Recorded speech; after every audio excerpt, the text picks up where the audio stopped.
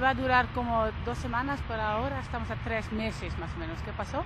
Tendón y es, es una lesión difícil para curar y, y durante el primer mes no, no, ha evolucionado bien la lesión.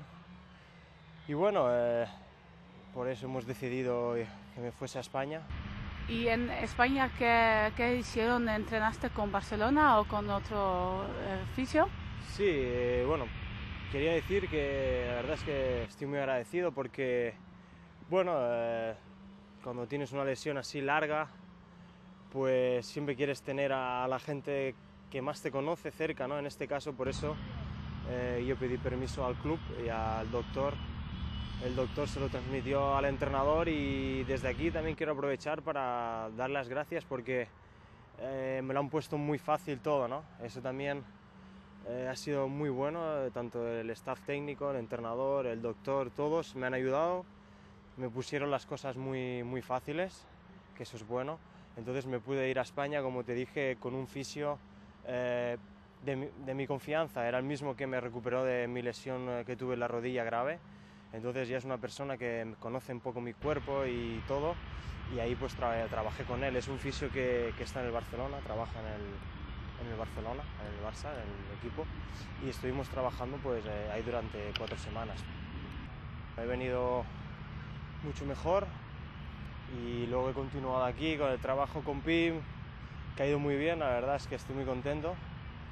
Eh, hemos trabajado muy bien y, y, ahí hemos evolucionado rápido y ahora pues ya estamos en la fase final. He entrenado tres cuatro días con, con el segundo equipo y si no pasa nada, pues mañana será el primer entreno con el grupo eh, por la mañana.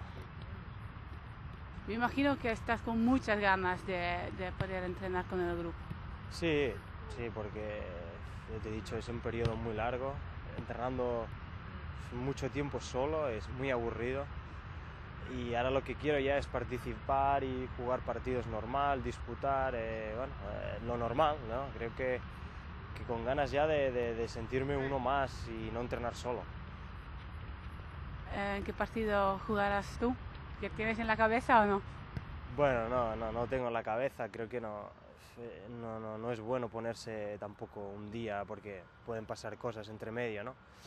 Pero bueno, yo voy a entrenar para estar lo antes posible, eh, para poder al menos eh, volverme a poner otra vez eh, la ropa de jugador, eh, saltar al campo y poder jugar unos minutos, pues lo antes posible, no sé, también dependerá de, de cómo me encuentre físicamente, de cómo me vea el entrenador y, bueno, y del partido, ¿no? Creo que hay algunos factores, pero espero que sea lo antes posible.